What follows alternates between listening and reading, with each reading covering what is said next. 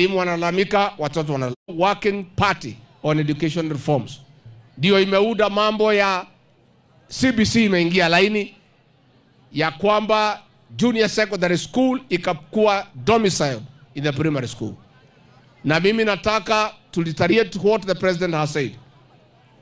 Mambo ya JSS, mwalimu yeyote ambaye atapatikana amefukuza watoto ati mambo ya uniform, mambo ya desk, sijui mambo ya nini, kabla hiyo mtoto afike nyumbani kwa mzazi yake, mwalimu atakuwa ametangulia kwenda nyumbani kabla mtoto afike. And I want to talk to our teachers. Nataka kuuliza wazazi, wat, wali, walimu wetu. The Ministry of Education has released money, capitation for junior secondary school, for primary school, for secondary school. Mwalimu asikue mtu ambaye ako na mambo yake, na hao watoto wakubaliwe wasome.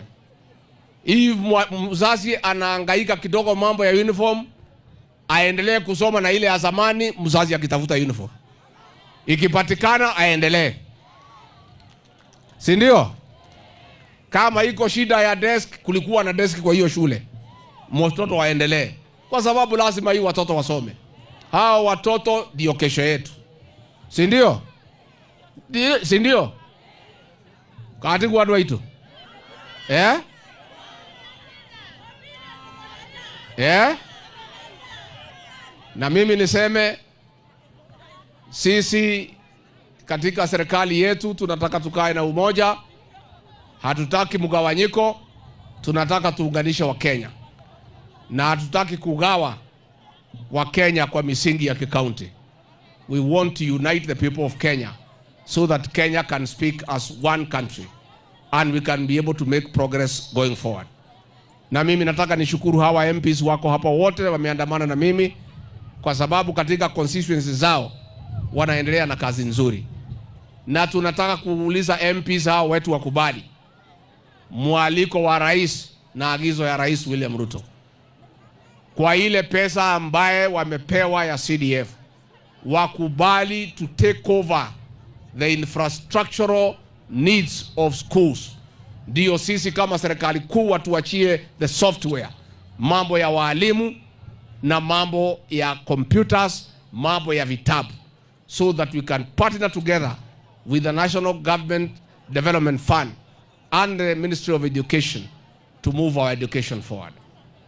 Na mimi nikimalizia hapo niseme watu ya Kajiado asanteni sana, na niseme Senator Tobiko, nimekusikia umesema watu yote wakuje, tumekaribisha kila mtu, and I want to assure you hakuna mtu State House anaweza fungiwa hata moja. State House is open. We have an open door policy to all leaders who are genuine. Mukuje State House muonane na rais. Rais wa Jamhuri ya Kenya ni mtu ya bottom up, ni mtu ya hustler nation, na every leader, every Kenyan who wants to engage our president on development, on the unity of this country is welcome to visit the president. Any leader who wants to engage Rigathi Gachagua, the deputy president, on matters development, on matters unity, they are welcome.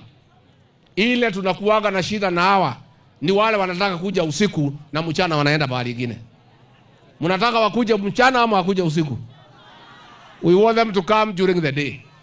Unajua kuna wengine wanataka kuja usiku, mchana wako kule kwa Azimio. Sasa hawa ndio saa ingine tunasema ngoja kidogo.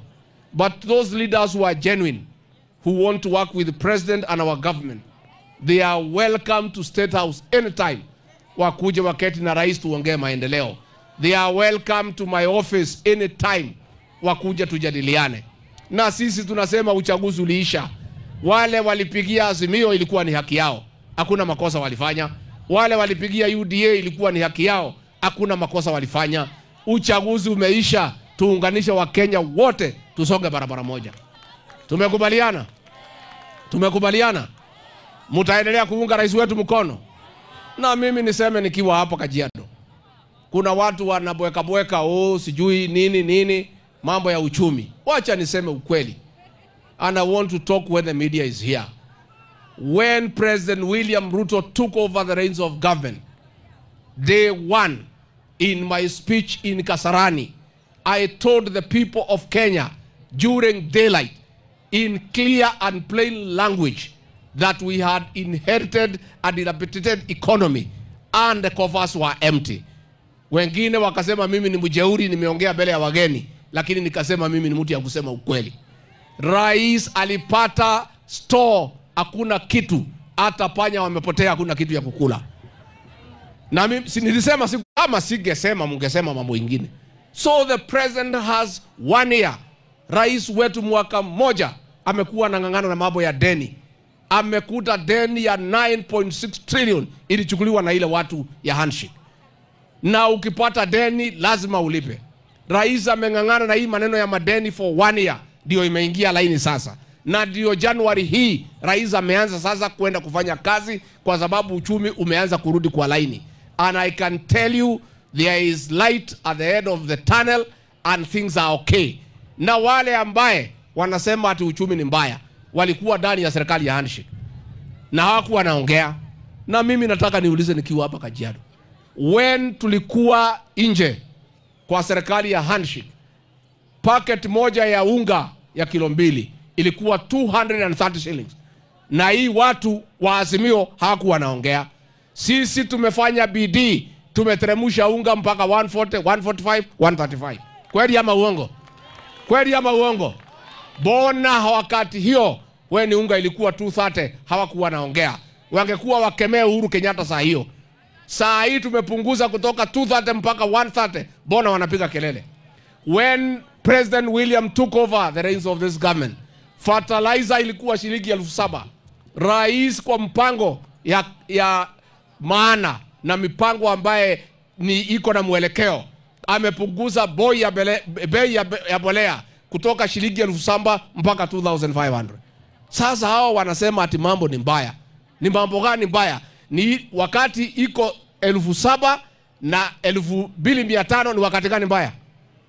Ni wakati gani mbaya? Si ni elfu saba? Mbona walikuwa wamenyamaza wakati wa ule? Walikuwa na macho hawaoni, walikuwa na masikio hawasikii, walikuwa na mdomo hawaongei.